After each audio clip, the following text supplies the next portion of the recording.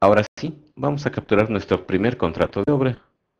Así que nos dirigimos a Contratos, el panel de Contratos, y seleccionamos el icono Contratos. Vamos a ampliar un poco esta ventana. Seleccionamos el proyecto. Seleccionamos al contratista de nuestro listado de contratistas. Tenemos a los dos subcontratistas. Agregaremos a casas firmes. Seleccionaremos el residente.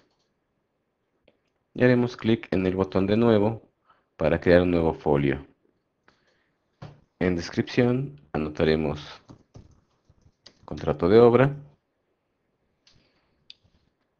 anotaremos la fecha,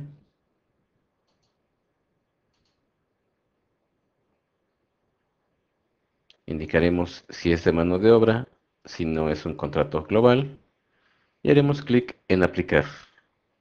Deseamos guardar el nuevo contrato, decimos que sí, y se bloquea el encabezado. Ahora procedemos agregar los conceptos que se van a ejecutar.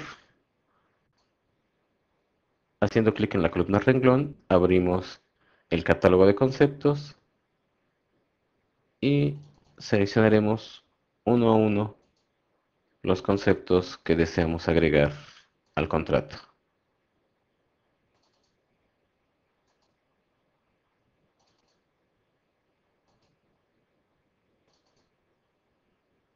Una vez que tenemos los conceptos, podemos modificar la cantidad, ya que el sistema nos propone por default el tope del presupuesto para el tipo subcontrato.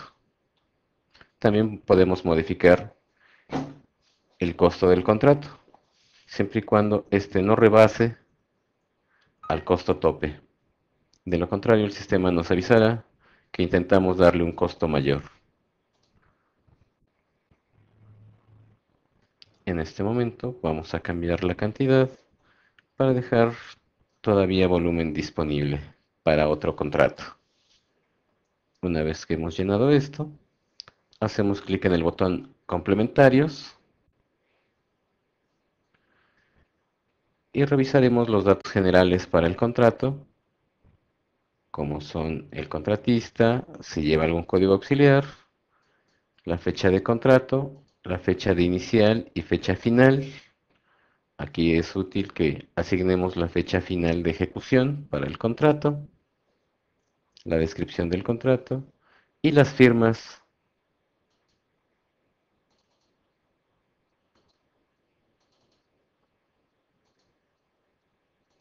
que podemos agregar para el contrato. Hacemos clic en el botón editar para poder grabar todos los cambios que efectuemos podemos revisar los importes, podemos asignar un porcentaje de anticipo, que en esta ocasión será del 30%. Podemos asignar un porcentaje de fondo de garantía para este contrato y revisar el porcentaje de IVA. Aplicamos para guardar los cambios. En documentos legales podemos asignar los folios que correspondan a los documentos de fianzas. En cláusulas del contrato podemos anotar algún texto, alguna cláusula representativa del contrato importante para el subcontratista, como pudiera ser alguna penalización. En datos adicionales podemos escribir un concepto más extenso del contrato, una descripción más detallada, el área, frente y prototipo involucrados, y en plantillas podemos asignar una plantilla para el contrato a fin de generar un documento de contrato detallado con todas las cláusulas que se generará en Word. Una vez todo lo anterior, hacemos clic en aplicar y en aceptar para guardar todos los cambios. Y ya tenemos nuestro contrato efectuado. Aplicar. Aquí, si contamos con el permiso para ello, podemos autorizar el contrato. Si no, posteriormente lo podemos hacer a través de la ventana de autorización de contratos. Cerramos esta ventana de captura de contrato y concluimos con su captura.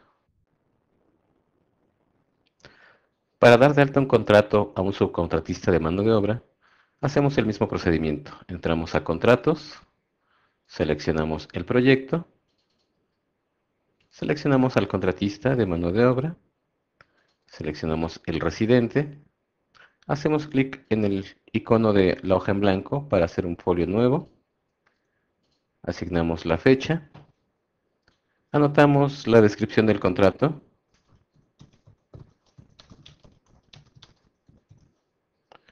y marcamos en este caso que es un contrato de mano de obra.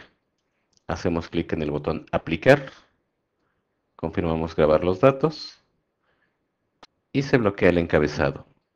Igualmente, en la columna renglón agregamos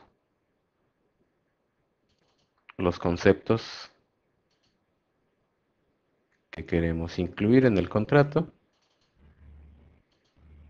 Aquí es importante señalar que antes de hacer el contrato de mano de obra,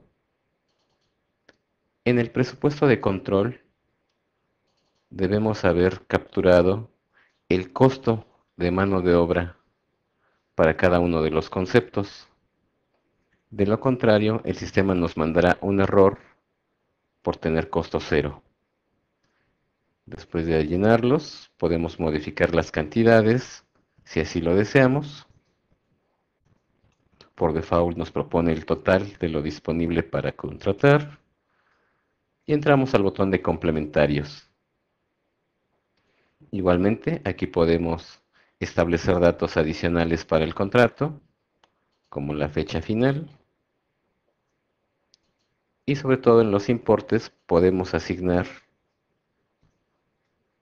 el porcentaje de anticipo, el fondo de garantía y el IVA lo mismo que las demás secciones de la ventana de complementarios. Hacemos clic en el botón editar y hacemos clic en aplicar y en aceptar para guardar los cambios. Hacemos clic en aplicar y ya tenemos un subcontrato de mano de obra. Y procedemos a cerrar esta ventana.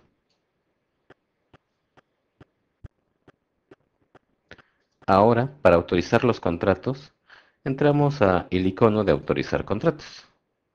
Seleccionamos el proyecto y hacemos clic en aplicar. Y aquí nos mostrará un listado de los contratos que no han sido autorizados. Y debajo nos mostrará el contenido de cada uno de ellos. Sombreamos el renglón para seleccionar el contrato que vamos a autorizar y hacemos clic en el botón de autorizar y nos informará que el contrato ha sido autorizado. Una vez hecho lo anterior, nuestros contratos ya están autorizados y ya pueden utilizarse para hacer estimaciones. Cerramos la ventana de autorizar contratos. Para asignar trabajos a un destajista, no es necesario capturar un contrato. Simplemente entramos a conceptos por destajista, seleccionamos el proyecto, seleccionamos al destajista de nuestro catálogo, el que no sea subcontratista de mano de obra, y agregaremos los conceptos en los cuales él puede participar.